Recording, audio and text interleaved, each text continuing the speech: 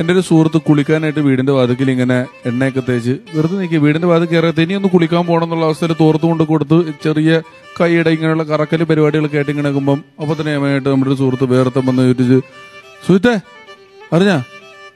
മാധവൻ ചേട്ടൻ മരിച്ചു പോയി വല്ല അങ്ങോട്ട് ചോദിച്ചു. അതെ മാധവൻ ചേട്ടൻ മരിച്ചാ? ആ വാ എന്ന് പറഞ്ഞു. അപ്പൊ സുജിത്ത് ആലോചിച്ചപ്പം മരിച്ച വീട്ടിൽ പോയിട്ട് വന്നാലും എന്തായാലും ഒന്ന് കുളിക്കണം. അതുകൊണ്ടൊന്ന് മാധവൻ ചേട്ടൻ വീട്ടിലേക്ക് പോയേക്കാം. അങ്ങനെ തീരുമാനമായി. സുജിത്ത് അപ്പൊ തന്നെ അഴയെ കിടന്നൊരു ഷർട്ടും അഴയെ കിടന്നൊരു മുണ്ടും എടുത്തു കൊടുത്തിട്ട് ആ ബൈക്കിന്റെ പുറകെ കയറി നേരെ മരിച്ച വീട്ടിലോട്ട് പോയി.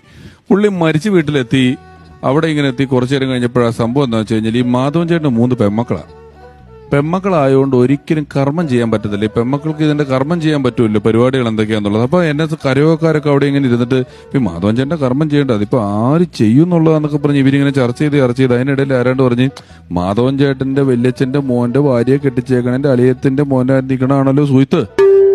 സുഹിത് ചെയ്യട്ടെ സുഹിത്തിന് ഇത് ചെയ്യാവുന്ന കേസല്ലേ ഉള്ളൂ പറഞ്ഞ് പെട്ടെന്ന് തന്നെ എവിടുന്നെന്ന് അറിയാൻ പാടില്ല ഈ കർമ്മം ചെയ്യാനുള്ള അവകാശം സുജിത്തിന്റെ തലയിലോട്ട് നേരെ വന്നു കയറി. സുജിത്ത് ആണെങ്കിൽ കുളിക്കാൻ നിന്ന മനുഷ്യനാണ് വീടിന്റെ മുറ്റത്ത് വെറുതെ നിന്ന മനുഷ്യനാണ്. ദാറ്റ് ഇസ് ദ പ്രതിഭാസം. പുള്ളി ജെട്ടി ഇട്ടിട്ടില്ലായിരുന്നു.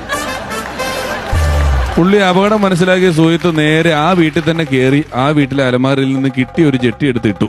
ഒരു ജെട്ടി എടുത്തിട്ട് നേരെ സുഹിത്തിനെ കിണറ്റുകരെ കൊണ്ടുവന്ന് നിർത്തിയിട്ട് സുഹിത്തിന് ഒരു തോർത്ത് ഉടുക്കാൻ കൊടുത്തു.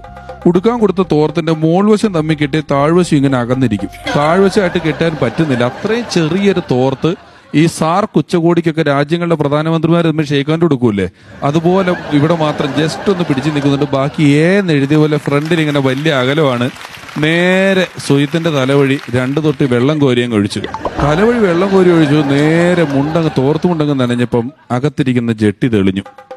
നല്ല പൂക്കളൊക്കെ ഉള്ള കുഞ്ഞു കുഞ്ഞു കുഞ്ഞു കുഞ്ഞൊരു ജെട്ടി. കാരണം എന്താ വെച്ചാൽ ഈ മരിച്ച മാധവൻ ചേട്ടന് മൂന്ന് പെമ്മക്കളാണല്ലോ. ഇവൻ ആ വീട്ടിൽ തന്നെ കയറിയിട്ട് ഒരു അലമാരയിൽ നിന്ന് ഷഡ്ഡി എടുത്തപ്പോൾ ഏതോ ഒരു പെങ്കൊച്ചിന്റെ ഷഡ്ഡിയാണ് പുള്ളി എടുത്തിട്ടേക്കുന്നത്. ആണുങ്ങൾ ഇടുന്ന പോലത്തെ ഷഡ്ഡിയേ അല്ല ഇവൻ ഇട്ടേക്കുന്നത്.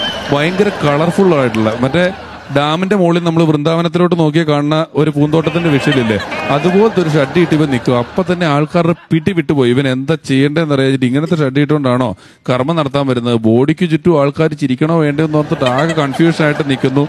ഇതാണ് ഇങ്ങനെ തെളിയുകയും ചെയ്തു. മറ്റൊരു പ്രശ്നം കൂടി ഉടലെടുത്തു. അതെന്താന്ന് വെച്ചാൽ ഈ ആണുങ്ങളുടെ അത്ര എലാസ്റ്റിക് ഒന്നും ഇതിനില്ല. പുള്ളി ഈ കുടവും തലയിൽ വെച്ചിട്ട് നടക്കാൻ തുടങ്ങിയപ്പോൾ ഇത് ഊരാൻ തുടങ്ങി തന്നെ താനെ. ഫസ്റ്റ് റൗണ്ട് എത്തിയപ്പോൾ ഇത് ഊരി മുട്ട് വരെ എത്തി. പുള്ളി ഇങ്ങനെയായി. സെക്കൻഡ് റൗണ്ട് നടക്കുമ്പോൾ അത് ഊരി ഇവിടം വരെ എത്തി. പുള്ളി ഇങ്ങനെ ഇങ്ങനെ പോയി. മൂന്നാമത്തെ റൗണ്ട് കിടക്കുമ്പോഴത്തേക്ക് നിലത്ത് എട്ട് എന്ന് എഴുതിയ പോലെ ഇത് ഊരി കിടക്കുകയാണ്. പുള്ളി അതും കവച്ച് വെച്ച് മൂന്നാമത്തെ റൗണ്ട് ഇങ്ങനെ നടക്കുമെന്നു ബോഡിക്ക് ചുറ്റും ചിരി എന്ന് പറഞ്ഞ ആൾക്കാർ എന്ത് ചെയ്യണം എന്നറിയാണ്ട് ചിരിച്ചുകൊണ്ടിരിക്കുമ്പം തിരുമേനി ഈ കുടത്തിലൊരു വെട്ടുകത്തി എടുത്തിട്ട് ഇങ്ങനെ ഒരു കൊത്തു കൊത്താനായിട്ട് തിരുമേനി വന്നിട്ട് ചിരിച്ചുകൊണ്ടൊരു കൊത്തു കൊത്തിയത്. ആ കൊത്തവന്റെ തലക്കിട്ട് കൊണ്ട് തലയിലാറ് സ്റ്റിച്ചുമായി